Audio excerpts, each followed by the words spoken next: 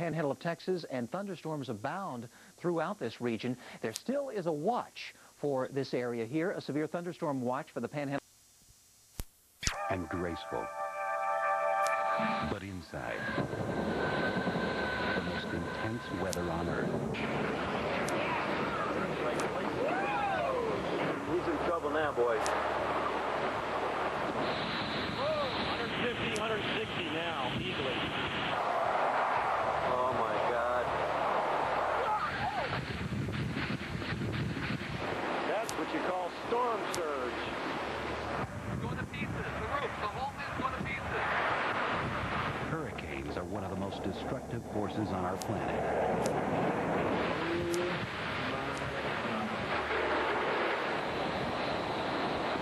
In the next hour, we'll give you a feeling of what it's like to be in a hurricane through the eyes of men and women who have been there and lived to talk about it. Right now it's 105 sustained winds.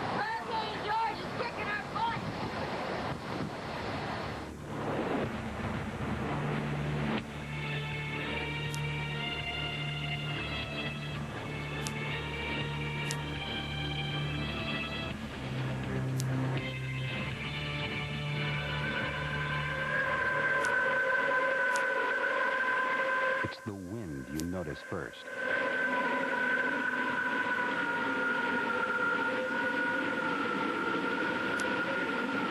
You know, hearing that wind squeal, it, you know, when it gets over 100 miles an hour, the wires and the, you know, hear the roar going through the trees and, and you know, and it gets to the point you start hearing things breaking, glass breaking, and but just hearing that roar and that scream in the wind, it's just fascinating. It, you know, it's, it's, it's hard to describe unless you've been there. Jim is a hurricane chaser.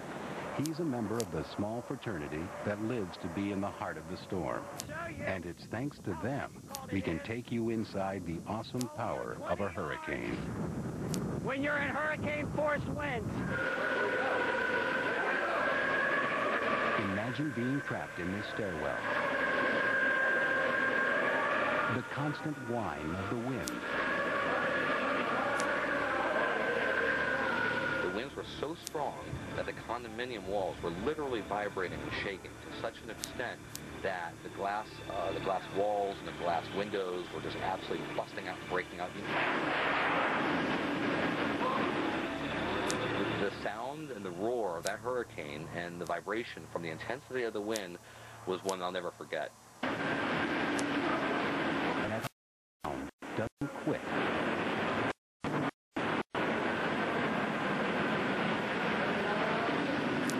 Look at the water being blown through the cracks of the porch.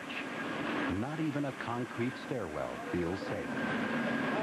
It's bad enough being trapped in that stairwell. Can you imagine being out in winds that fierce? If they said the eye is what, whatever the last. Winds have no respect for man-made structures.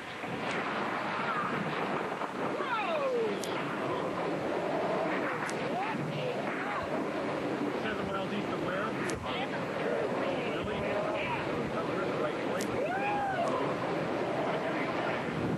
Pressure right now is 948 millibars. We're not in the eye yet.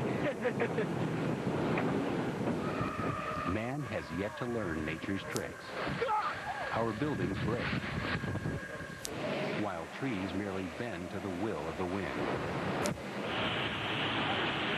150, 160 now, easily. I got, I got typhoon insurance on my car. I hope I don't have to use it. Going to pieces. The roof, the whole thing's going to pieces. Roofs are no match for a hurricane's wind. And the flying debris is very dangerous. The higher the wind gets, the more euphoric I feel. Just seeing nature flex a muscle. This gas station's roof gives into the power of the wind. Sometimes you can get lucky and be in the right spot, but it's rare.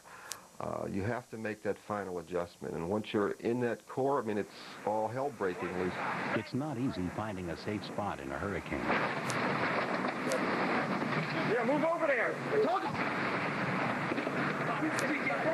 especially when you're getting video.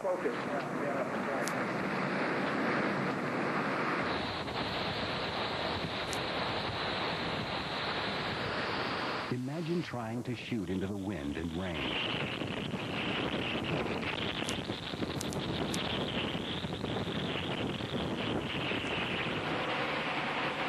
In fact, some of the most spectacular video has been shot from the relative safety of a car.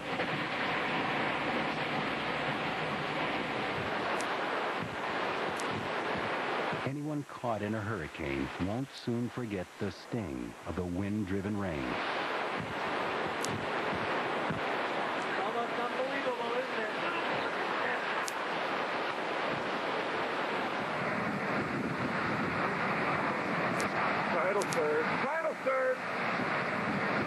Hurricanes have another side, a side sometimes worse than wind. It's called surge, a rapid rise in water level that pushes onshore. Within minutes, surge transforms this parking lot, flooding cars their owners thought safe.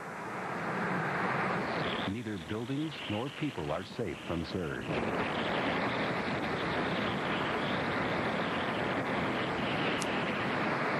The water starts rising, there is little that can be done to stop it.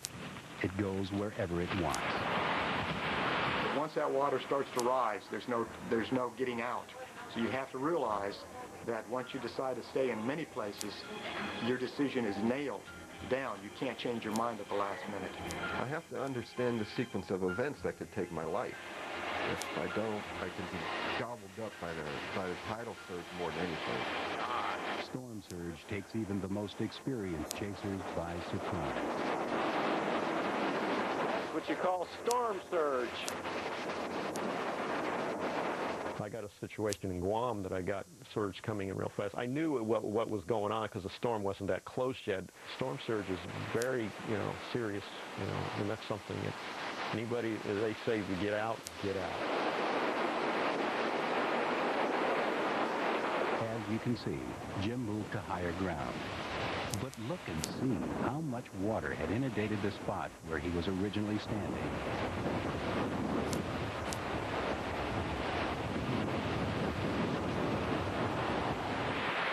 Surge breaks boats away from their moorings and sends them into nearby homes. It sweeps inland and crashes into buildings hundreds of yards away from the waterfront. There was people in this apartment complex that said they had been living there since the 40s. And they said, oh, the storm, the water's never come over the, into this parking lot since 1947. And within two hours after that, the, the water was four feet deep in that parking lot, flushing all their furniture out of their apartments. Refrigerator adrift. Uh-huh. Refrigerator adrift. Dry streets rapidly become flowing rivers. Wind and water, the twin blows a hurricane delivers to a community. Seen here through the lens of a storm chaser's cameras, putting their lives at risk to be in the heart of a storm.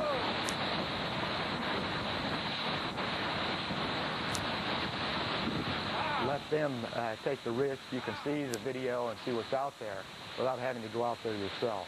Most of the time, we hope that they will have a safe haven to go to, but that is an issue, and sooner or later, somebody out there in very dangerous weather is going to be hurt. It may make for spectacular video, but nevertheless, uh, somebody might die. I really wouldn't suggest it to anybody. It's something you just have to have in your blood. I'll never quit until the storm stops me or, you know, it, I'll be doing this until you know, I'm 90 years old if I'm around that long. When we come back, imagine a job where you have to stand in a hurricane before an audience in the tens of thousands.